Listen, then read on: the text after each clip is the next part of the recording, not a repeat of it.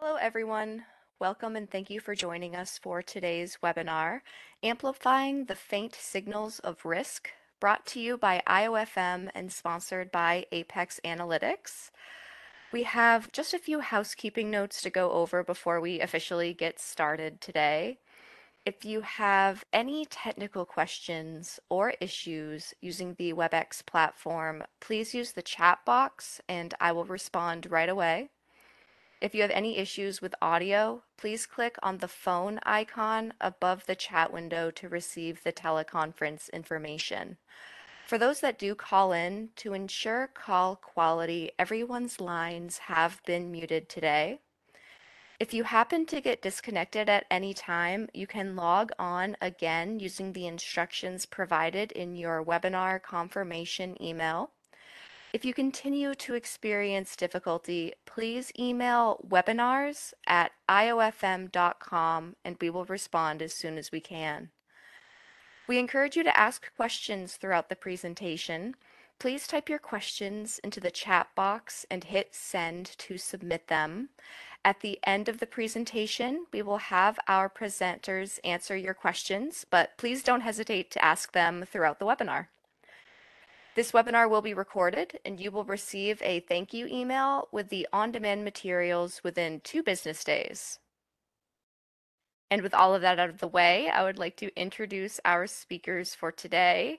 Uh, first, we have Mark Brousseau, President of Brousseau and Associates. Over the past 26 years, Mark Brousseau has established himself as a thought leader on accounts payable, accounts receivable, pay payments, and document automation. A popular speaker at industry conferences and on webinars and podcasts, Brousseau advises prominent end users and solutions and services providers on how to use automation to improve document and payments driven business processes. Brousseau has chaired numerous educational conferences and has served on several industry committees and boards. He resides in Center City, Philadelphia with his wife and three sons. And we will also hear from Danny Thompson as Senior Vice President of Market and Product Strategy at apexanalytix. Danny is responsible for defining, communicating, and leading their company's software product strategy and roadmap. He works closely with customers to ensure that each solution helps them meet their business objectives. Danny has a proven track record in the procure to pay arena with a strong background in ERP implementation, process automation, and financial shared services. He previously was Vice President of Product Management at Tungsten Network, a global business to business e invoicing firm. He is also a formal, form, former global process driver for invoice to pay at Pfizer. And at this time, I would like to welcome our speakers and hand the webinar over to Danny. Welcome, Danny. Uh, thanks, Kelsey, and uh, it's good to see you again, Mark. Um, look forward to talking with you throughout this session. Uh, and uh, for everyone that is attending today, thanks for coming. Um, we're going to spend the next hour um, talking through the supplier risk, supplier threat landscape that large companies are facing, uh, what companies need to take into account to assess all of the various important known areas of risk, as well as areas of risk that may be bubbling up that they don't have visibility to yet. And also technology that kind of makes all of this possible.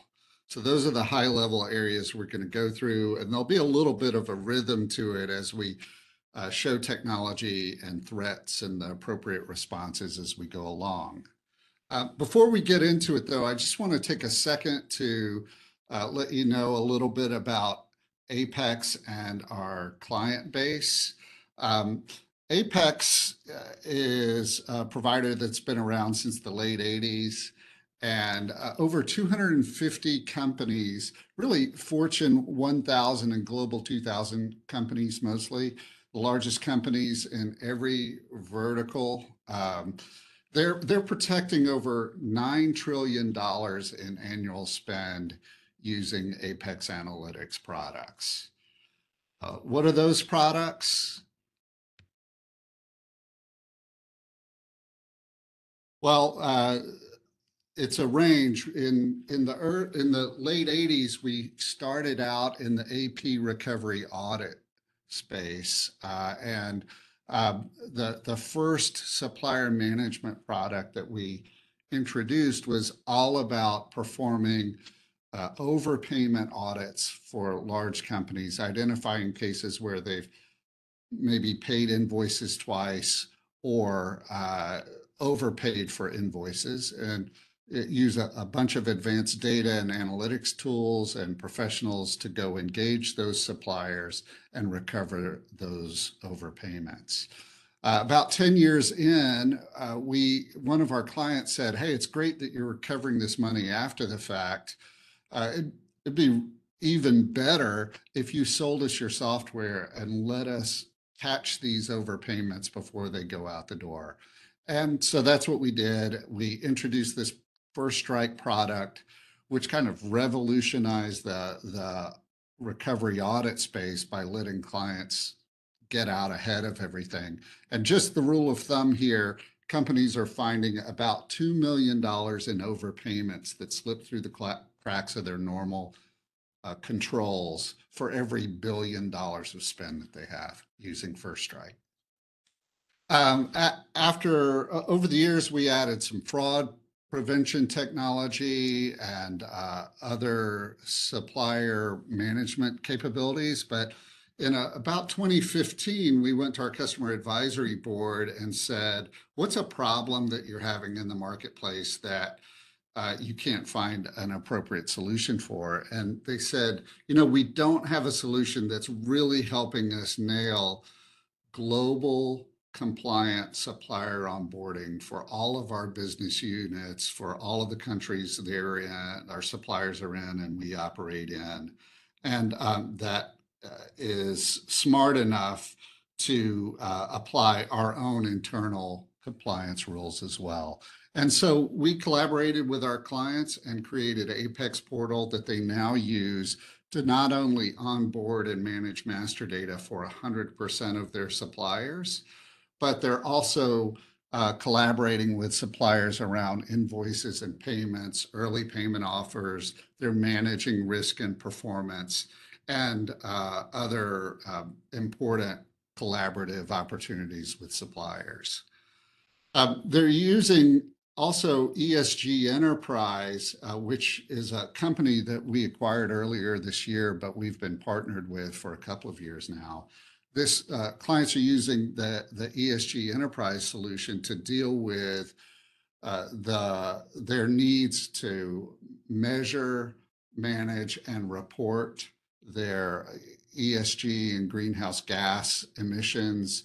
Uh, they're managing supplier sustainability projects and uh, collaborating with suppliers to ensure that they're uh, compliant with global regulations.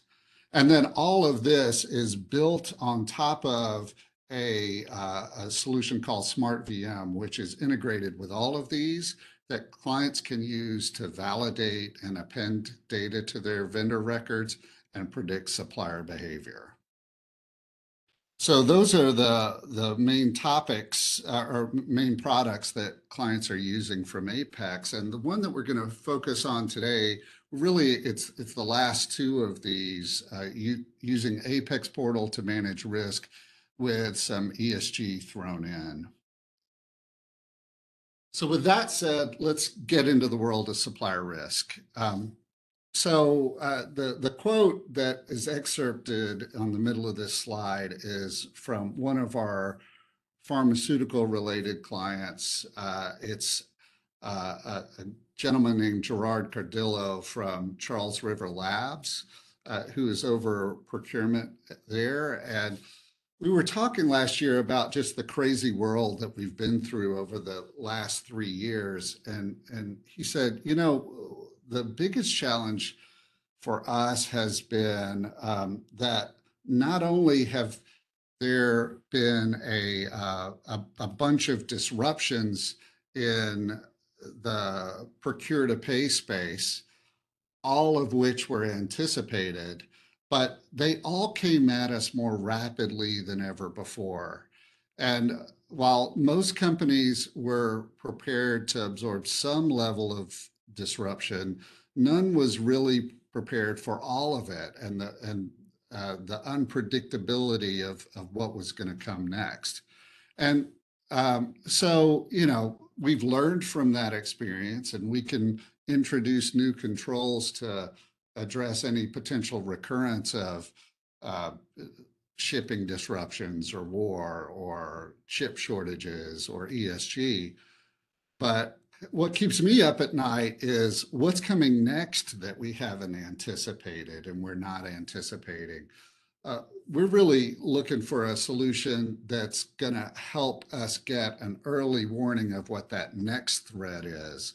So we need something that's going to to help us manage all of our current known risks, but what about the unknown risks? How do we become aware of them as soon as possible? And uh, the reason that companies are, are looking to uh, manage all of this risk, especially emerging risk, is whoever's first to identify and respond to that next threat or next series of threats will uh, create a huge competitive gap between themselves and their competitors. Uh, by protecting their supply chains, they'll protect their own business and even have the opportunity to take business away from their competitors. The problem is we don't know what we don't know. So that's the supplier risk management solution that we've been building in collaboration with our clients. It's a supplier risk management solution that not only monitors and manages the full spectrum of known risks, but also uses AI to provide early warning of emerging risks. So, um, so what do we mean when when we talk about the full spectrum of supplier risks? Uh, to get a feel for that, we took a look at uh, some research that Gartner published last year and uh, this was in their market guide for supplier risk management solutions. And in that article, that they identified seven major risk factors that leaders need to be monitoring and managing. And uh, they need to monitor all of these areas on suppliers across supplier type. So you can't just focus on cyber risk monitoring of IT suppliers or just financial risk of financial or manufacturing suppliers, you need to be monitoring both areas for both. So for example, if you're a raw material provider, uh, has systems that go down to a ransomware attack, and so that raw material provider can't deliver to you, you're in trouble. Or if your IT provider has great cybersecurity in place, but uh, due to financial problems, they go belly up, then your own critical IT infrastructure may go down as well. So these are the areas of, of risk, of known areas of risk that people need to be managing. Um, so how do you know whether these risks are in your supplier base? How do you know uh, how do you monitor for these sorts of risks? Well, the short answer is um, you've got to digest a lot of different data sources to understand the risk across those areas. Our clients, uh, your peers tell us there's an equally broad range of data sources that they, that have to be taken into account. At least these seven categories. Uh, data that you as procurement, risk, or finance leaders have under your own control, data you might need from your suppliers or third parties, data on the web, and uh, even data that your peers may have about your suppliers. All of these are important, and ignoring any of them could leave you vulnerable. So that's a pretty big statement and a pretty tall order. If you're like me, your first reaction is, how could I possibly monitor all of these data sources across all of these risk categories? Where can I find the data? Where, how could I boil the ocean of all this data down to identify the material risks? And once I find risks, what do I do next? How do I how do I manage improvements and work with suppliers to to mitigate any risks that come up? So that's the challenge we've been working on with our clients. And uh, together, we we built a solution to to do just that. Uh, it's the Apex Portal risk management solution. And uh, as it's developed, it's consolidated more and more. Uh, and now it's it's covering all of the appropriate risk categories and data sources, all in a single threat dashboard and risk management system. It's uh, integrated to the entire supplier lifecycle. So uh, every all the way from supplier discovery and supplier onboarding through continuous monitoring. And to make it all workable, it's it's touchless. The monitoring is going on in the background and it only engages the risk managers or suppliers at the appropriate time. So it engages suppliers when new information is needed from the suppliers and it engages the risk managers when new material risk is identified. And uh, so it provides the risk manager an alert. The risk manager can then follow that alert to, to drill down into all of the backup details required to understand any risk. And, and then supplier collaboration functions inside the solution uh, provide the, the necessary collaboration with suppliers or other internal users or even third parties to reduce the risk and improve performance over time. So uh, here's how it works. Uh, it starts at the beginning with supplier onboarding, supplier discovery and onboarding. You have to start out by knowing who you're doing business with. And with automated supplier onboarding, this solution performs fully automated KYC, so you know who you're doing business with right from the start. For example, is the supplier who they say they are? Are they on any prohibited vendor lists? Uh, all of the data is validated in real time. Your policies get communicated, and if you need the supplier to to sign those policies or upload their own documents uh, attesting to uh, anything that you want them to say they're they're doing, um, data security documents, et cetera, insurance documents, all of that is captured and validated before you start doing business with the supplier. One of the the more uh, important areas of risk that people are dealing with right now is uh, it's fraud and securing bank accounts and bank account changes. So we've worked with clients to to build a multi-layered bank account ownership validation that that includes everything from robust portal access controls all the way through to integration with a consortium of banks or or in some countries, governments, to confirm whether the supplier is the actual legal owner of the bank account that you've got set up to remit payments to. And in, in uh, to cover areas where we don't have positive confirmation because the data is not available, we have confidence scores on uh, whether the bank account is appropriate for the supplier based on uh, where we see that supplier, what bank account we see that supplier using with other customers, as well as are, are, is, is the bank account in question being used for other suppliers. Uh, so between those two things, we can give you a high level of confidence of whether the, the bank account that someone has entered in as the supplier's bank account is actually confidently uh, used for them or whether you need to do a little bit more due diligence. So that's data that's coming across the Apex community. Another interesting area that people, uh, that's important during the supplier onboarding process is insurance compliance monitoring. And uh, until now, companies have had a, a manual or maybe partially automated process for collecting PDF certificates of insurance from their suppliers. And, you know, the role of, of, uh, of suppliers business insurance is to transfer risk and liability from you to your suppliers as appropriate.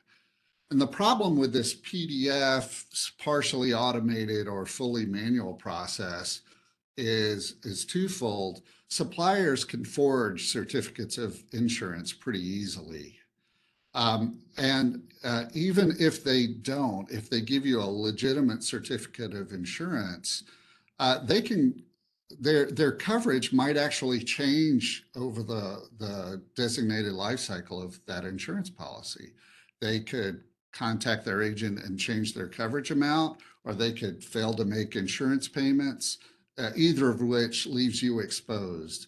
So what we've done in this touchless solution is we've taken insurance compliance monitoring a step further by instead of asking for a PDF from the supplier, we're integrating with Certificial Smart COI network to obtain detailed insurance coverage levels directly from insurance agencies.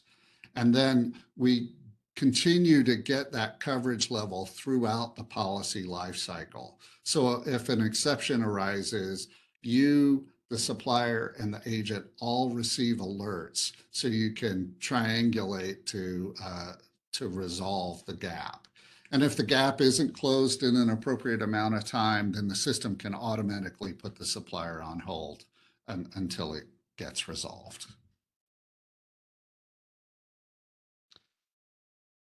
Um, so after a supplier is onboarded, it's important to monitor risk on an ongoing basis. And with this screen, uh, the solution gives you overall threat levels for all suppliers or maybe all suppliers in a given supplier segment. And uh, it shows the highest risk suppliers as well as those are trending in, in the wrong way, um, whether at, the, at a composite risk level or within any given risk category drill down on any supplier uh, that's on the previous screen or any supplier you can search for, and you see the supplier specific risk dashboard. And uh, if you look over at the uh, in the center, you see the supplier's composite risk. And on the left, you can see a, uh, a bunch of uh, individual scorecards covering important areas of supplier risk and performance. This is a subset of the available scorecards that come out of the box, but uh, all of these scorecards are highly configurable and uh, so they can be adjusted to uh, the, the questions and attributes that you may want to to uh, focus on. You can pull in third-party data. You can add new scorecards, and the scorecards and scoring methodologies and line items on the scorecards can vary based on supplier segment. If you click on any one of the risk categories on the left, like in this case, it's the fraud detection scorecard, then in the in the middle, you get all of the individual attributes that are part of that scorecard. In the case of the fraud scorecard, it's over 30 attributes that get composited together. And if you click on any one of the line items, then over to the right, you get to see the backup details associated with that individual attribute. So um, here's a case where there's an employee supplier match. There's a, a vendor who has uh, either the same bank account address, phone number, or name as a, as a supplier or one of their dependents. Um, and uh, this can be set up so that you come in and review the scorecard whenever you want, but most likely what's going to happen is if a supplier's individual attribute or overall score or or trend crosses a threshold, you get an alert, you follow the link, and you get to go look at, at the detailed data supporting the alert. This is another important fraud control. Click on it. It's a, um, it's a case where we're tapping Apex Community Intelligence to let you know that there's an alleged fraud associated with this supplier somewhere else in the apexanalytix community. So one of your peers has found a fraud associated with this vendor. That doesn't mean you're experiencing fraud with them, uh, but you should maybe pay a little bit closer attention to this supplier.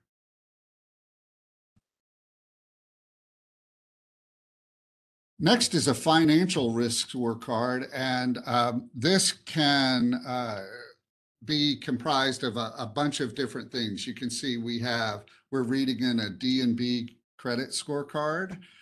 We have media monitoring, uh, a finance questionnaire that the supplier completes, and you can even have another uh, third-party data source. Anything else that you, if you have other credit score providers you want to include in the scope of your financial risk scorecard, that can be added as well. So uh, instead of giving you detailed information on the right, you can you get drilled down to the actual D&B report on the right if, if you want to use D&B as part of this assessment. Um, media monitoring, we uh, there are a lot of negative news monitoring solutions out there in the world. But this uh, is a media monitoring capability that's integrated into each of our individual scorecards. And um, we worked with our clients to make the negative news really operational for them by using natural language processing to filter the news to identify news items that indicate risk within uh, the given scorecard category. So uh, we're filtering to finance risk indicators associated with the supplier. And then the, the AI reads through the articles and assigns sentiment scores to each of the articles and provides you links on the right to all of the all of the selected articles. It creates a composite score across all of those news articles, which then becomes a line item on the financial scorecard. And, and this monitoring here and on the other scorecards can really help you identify something that's happening in the news or in social media chatter that suggests a, an emerging risk that you might not have uh, scored otherwise on the scorecard.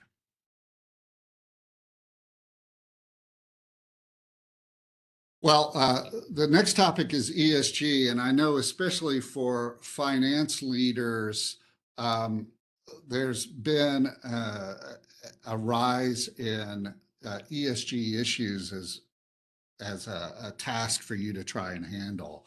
Um, either investors or your leadership has come in and, and made promises to the investment community around uh, ESG and working with suppliers to improve sustainability. There are new regulations that have been put in place, and you're tasked with addressing some of this with the supply base. And so um, to help with that, we've integrated uh, a scoring methodology to help you identify which suppliers are compliant with global regulations, are doing a really good job on the ESG categories that are important to you, and uh, maybe uh, and the ones that you may need to work with or investigate further to determine whether there's an issue.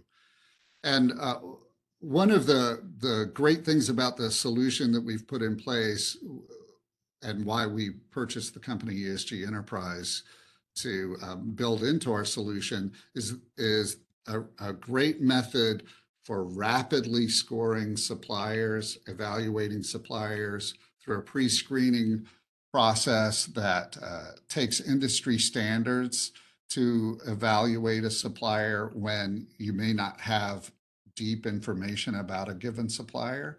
So we call that inherent risk, and, and we can create inherent risk scores for suppliers in real time. And then trigger a process that harvests harvests the supplier's public reports about ESG, if they have any, as well as pulling in data from other data sources around ESG issues related to suppliers to create a, a supplier-specific assessment rather than a, a, um, a, an estimated assessment based on country and industry. And then for the suppliers that you've identified uh, a, um, a high potential impact or a significant risk, then you can trigger a higher level of direct collaboration with the supplier to uh, refine the scoring for them, make sure you really understand what's going on with that supplier, and then manage through uh, an improvement project if, if it's appropriate. So uh, that scoring is baked right into the same dashboard where the report is fed into the same risk dashboard as the other risk areas key pieces of data are pulled in as attributes uh, for you to view individually and potentially trigger alerts for you based on what's important to you. And then you have drilled down to the, the full, it's a 20 or 30 page report to, to get into the details of what their specific greenhouse gas emissions might be, how much water waste they have, uh, any social issues that might be related to the supplier all of that is uh, captured in this solution.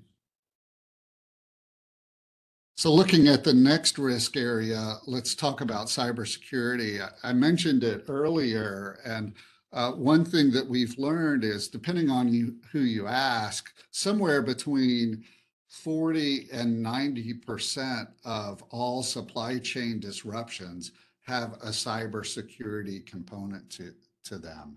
And uh, to to talk about this cybersecurity area, we really think uh, we we think about two areas of risk that you should be monitoring for. One is are the the suppliers public facing websites uh, vulnerable to attacks? Are they uh, do they have the latest security patches? Are, are their emails compromised? Those sorts of things. But there's also another area that you need to be monitoring, and that is threats.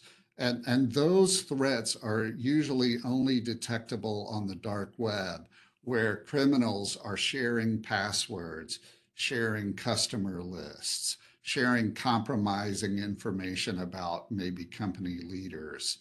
Um, and uh, it's only on the dark web where you can begin to detect uh, the steps that lead up to a ransomware attack. And so the, the cybersecurity monitoring that, that is built into the Apex risk solution is looking for both. It's doing uh, real-time vulnerability assessment of supplier web-facing systems and then scouring the dark web for indicators of coming attacks or uh, other negative behavior that might be going on there. And so very similar to the uh, ESG model, ESG scoring model, some components from a detailed report get pulled into the risk management dashboard, but then there's drill down to all of the details in an attached report as appropriate.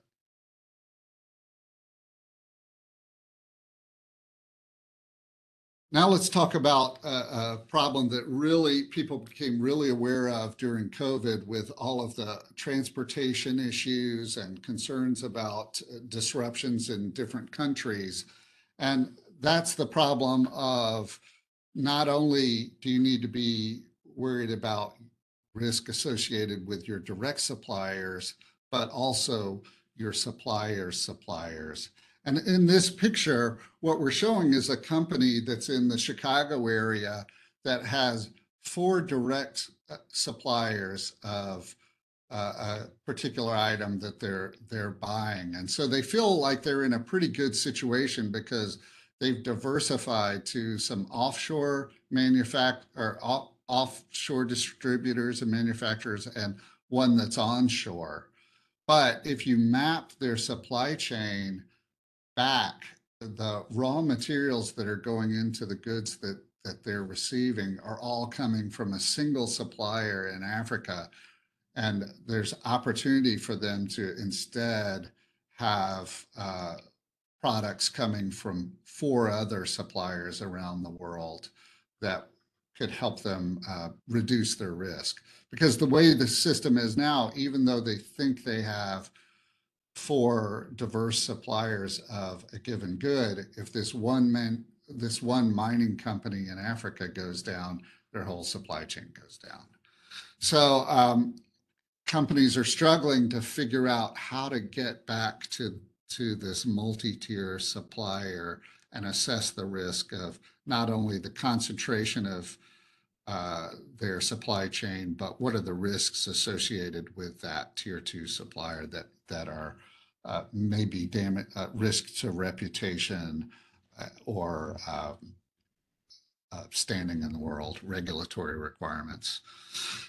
Uh, there, there are two ways to get at this tier two data or tier three data, and that is you can ask your suppliers who their suppliers are, but that's a huge challenge for companies because suppliers often are slow to respond or don't even want you to know who their suppliers are because they don't want you to bypass them.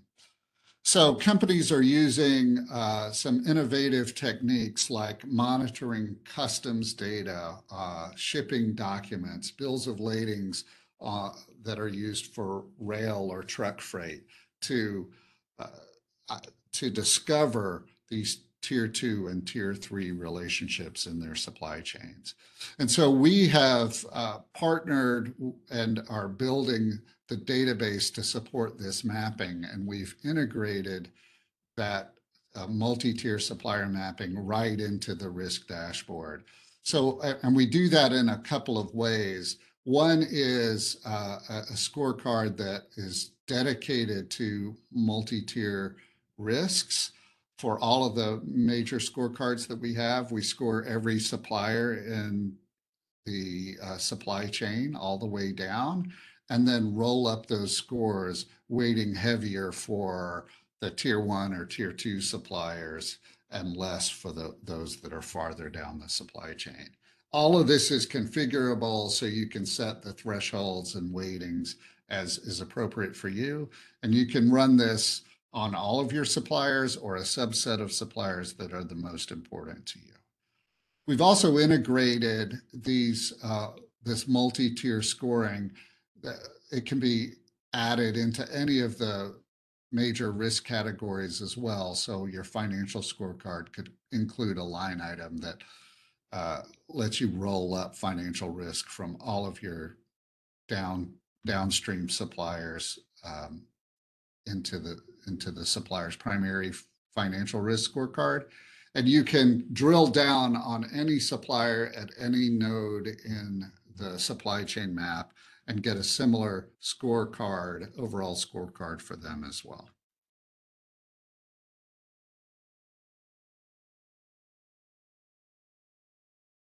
All right, so um, I've given you an idea of some of the scorecards and some of the unique uh, risks that get monitored by the system.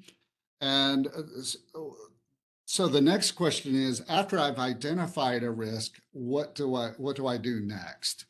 And the, the risk module includes a supplier case management, issue management, mitigation project planning function uh, that allows you to pull in individual risk items that maybe you've identified on the risk scorecards or that you've just uh, identified on your own.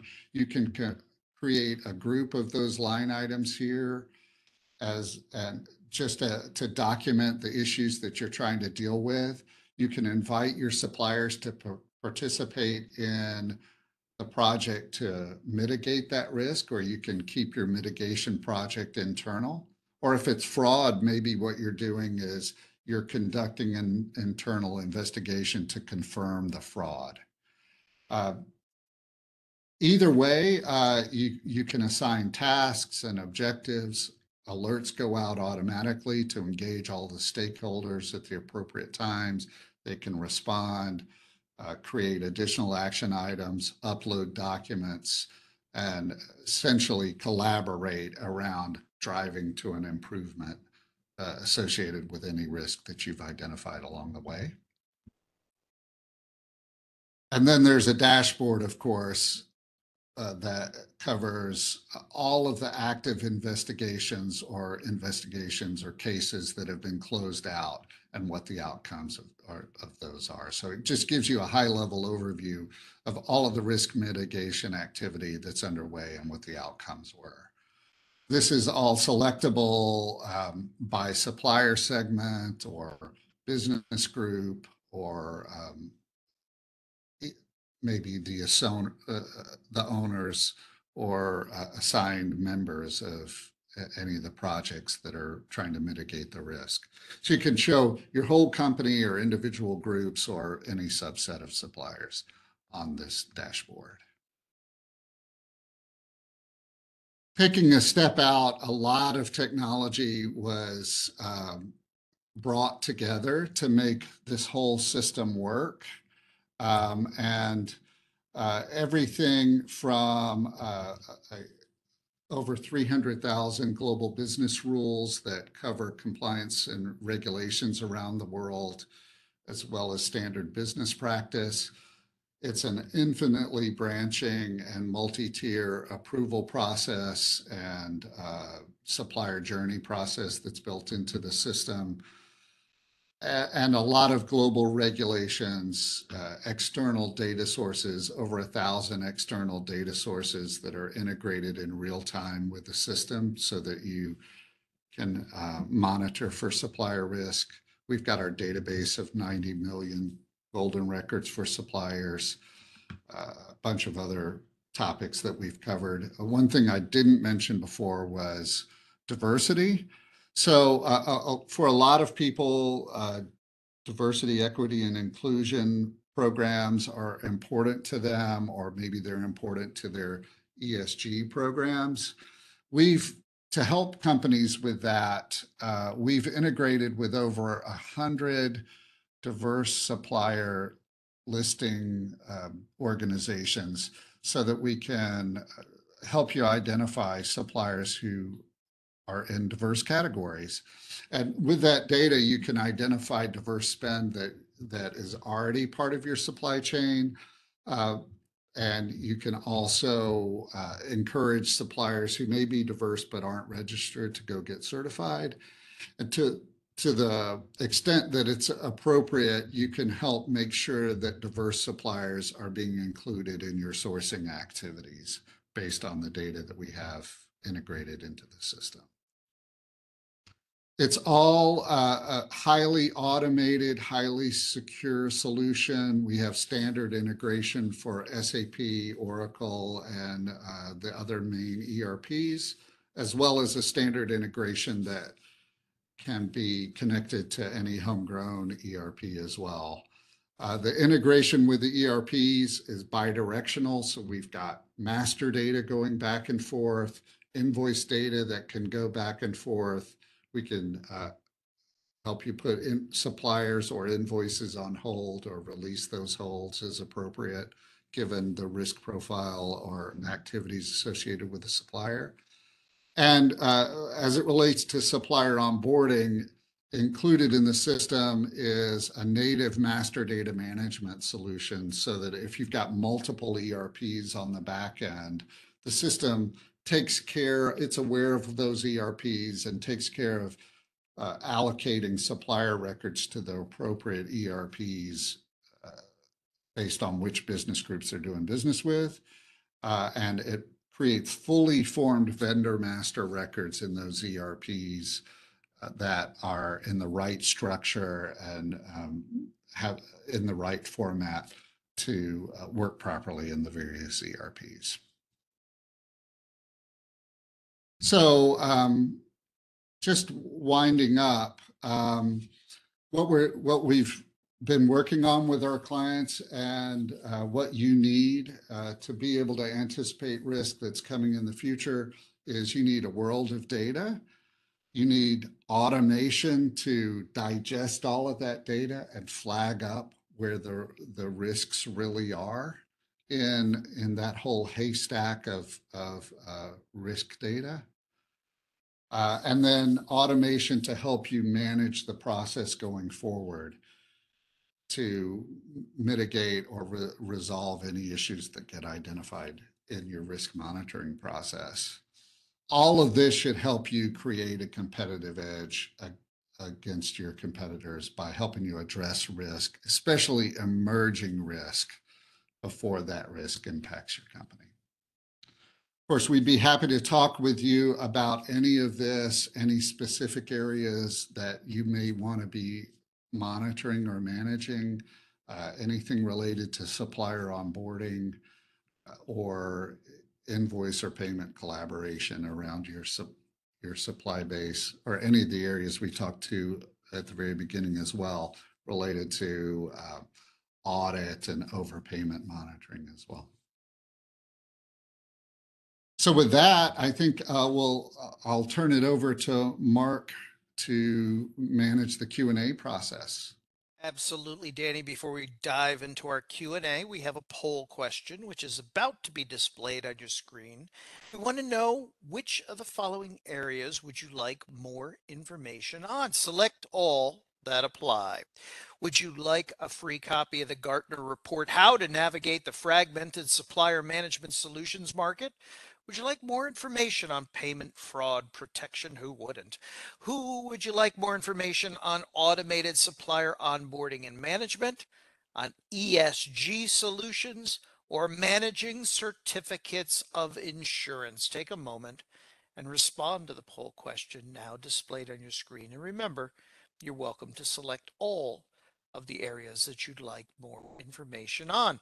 And that brings us to the Q&A portion of this webinar. If you haven't already submitted your question for Danny, or if you've thought of another question for Danny, go ahead, use the chat tool on your screen to submit your question to me now. We'll answer as many questions as time allows. And a few of our attendees have already gotten questions in, Danny, so buckle up and get ready. Our first question up is from Emily. She writes Is this subcontractor nth supplier applicable to only suppliers of goods, or can it be used for suppliers of services as well? Great question. It's applicable to uh, every supplier type. Um, the the key is um, you know how what what is the way we can discover that multi-tier supplier relationship. And so in some cases, we can get it from shipping data. In other cases, we can get it from uh, data reported by the suppliers themselves. And then sometimes we we just become aware of it because on our network, we have so many suppliers and buyers uh, interacting with one another. So, so far, those are the main ways we've found for identifying those relationships. Bruce wants to know whether your automated bank account ownership validation solution supports international accounts or just domestic ones. Yeah, great question. So it covers uh, the US, uh, Switzerland, Sweden, Poland, and India right now from a positive confirmation of who owns the bank account perspective. In the US, it's not covering 100% of accounts yet. The system that we're working with it covers about 60% of US accounts. Um, so those are the, the positive confirmation um, uh, countries. Globally, uh, the solution includes uh, the, the network community data component where if we have seen that supplier doing business with other customers uh, across all of the data that we have visibility to, um, that gets applied to every supplier. So if a supplier has submitted a bank account to you and we see that same bank account being used by that supplier for other clients and they've been using it for three years to make successful payments, then you can feel really confident about using that bank account going forward if nobody else is using that bank account or uh, that bank account is being actively changed across multiple customers um, in, in real time, then some more due diligence would be required. Uh, We're continuing to expand that uh, range of countries with positive confirmation. We're on the verge of having Canada, UK, and Ireland. Frank writes in, who are your target clients? We're a small foreign bank in New York, and your system seems to be targeted at large industrials. Uh, great question. We are, uh, we've traditionally targeted companies that were, say, uh, 500 million, 750 million and above. But I will say that um, later this year, we'll be uh, releasing a, a solution that could be appropriate for other sizes as well. Sasha wants to know what's involved in integrating your platform into an ERP. Obviously, you mentioned some of those direct connections. If that's not the case, what happens?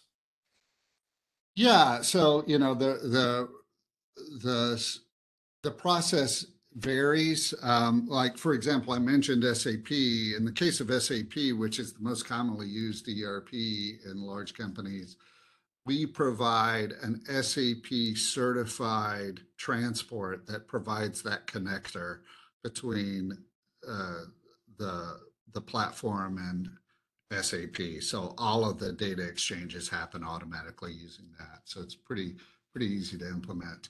Um, and then we have standard integration for some of the other ones. But uh, if you're not one of the ERPs that we that I mentioned, we have something we call our, our secure open adapter, which is a, a standard integration that supports batch and API data exchanges.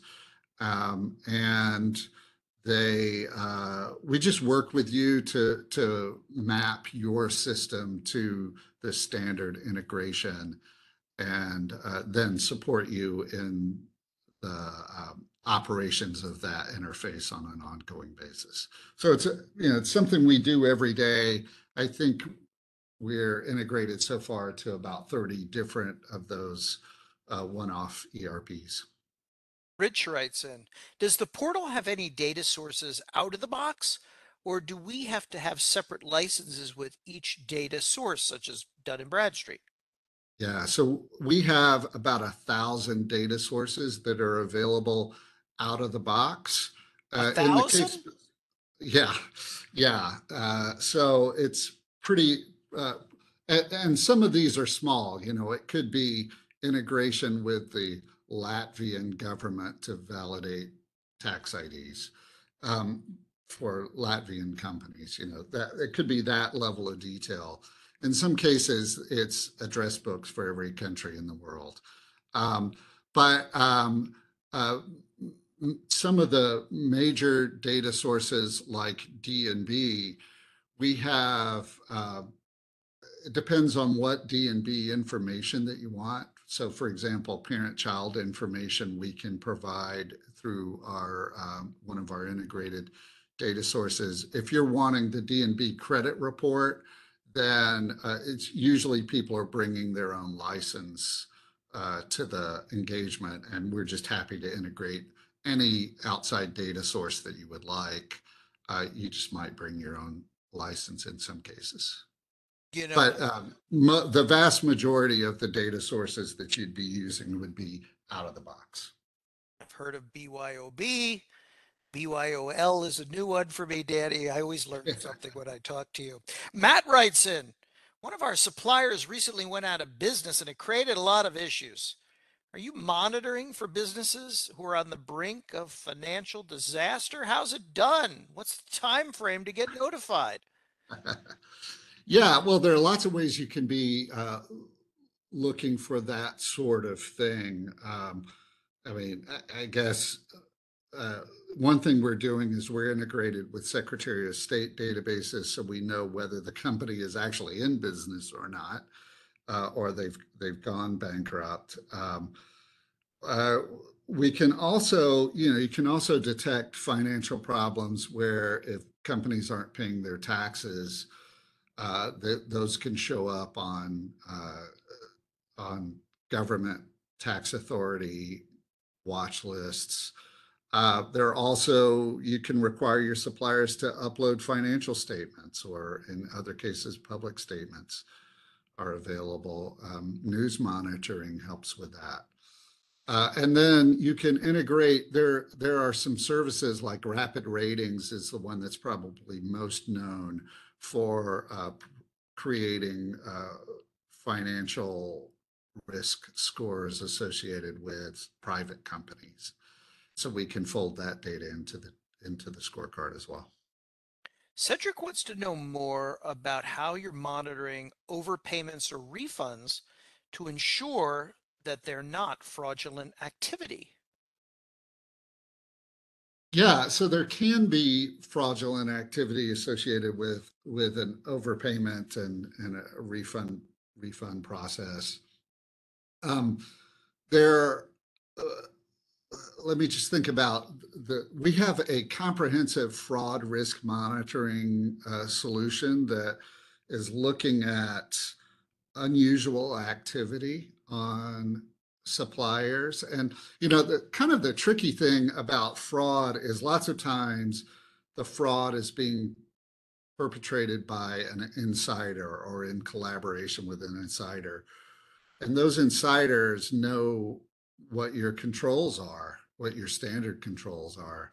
So with our fraud solution we're looking at a, a lot of different attributes that by themselves don't indicate fraud, but um, maybe if there's enough oddness going on, you know, enough of the the individual flags are are flipped, it just lets you know, hey, I, I need to take a look at this supplier a little bit closer. Maybe, you know, a bunch of controls are just being skirted. And uh, so that's the way the fraud scoring works. It, it looks at a lot of things like we use a, a solution called Benford's Law. Uh, there's a, a, a model called Benford's Law that's built into the solution. And we compare the invoice numbers and invoice amounts, the actual digits that are in those numbers compared to what uh, the Benford's law would predict machines would produce versus what humans would produce. And if there's an anomaly there, we flag up the supplier as, as suspicious.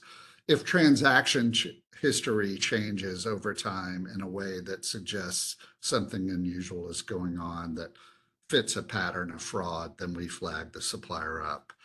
Um, those are those are just some of the examples that we uh, that we use and and uh, also just as part of our recovery audit work when credits are are coming up we're we're communicating with the supplier and uh, the AP departments to identify when this activity is happening um, just to confirm the legitimacy of these different sorts of transactions.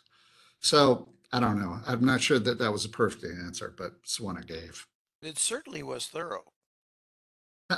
Of all the areas of risk you've described today, Danny, which area do you believe by and large AP departments are least prepared to fight against? Well, um, I think the one cyber risk is the one that's impacting supply chain the most. And but I think AP departments probably need to be spending a lot of their time focused on fraud because that's what AP departments have been hit with the most.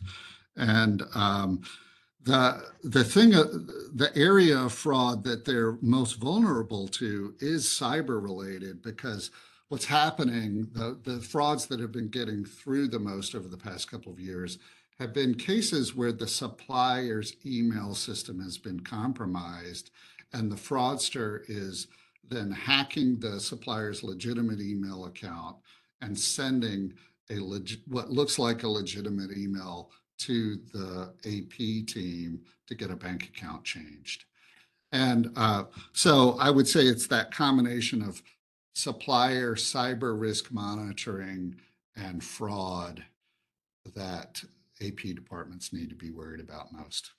That will be our final word. Danny, thank you so much for an excellent presentation and for sharing your insights with us today. Thank you all for taking time out of your busy days to join us. And with that, I'm going to hand it back to Kelsey. Ms. Kelsey. Thank you, Mark. And I just have a few housekeeping notes to go over before we officially close out today.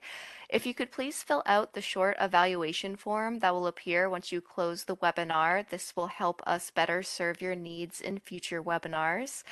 And as a reminder, the on-demand materials will be emailed to everyone within two business days, and this will include a PDF of the slides as well as the link to the recording of today's presentation. And thank you again to Danny and Mark for a great presentation today. And thank you to all of our attendees for taking the time out of your busy days to join us. This webinar was brought to you by IOFM and sponsored by apexanalytix. Thank you all and have a great day.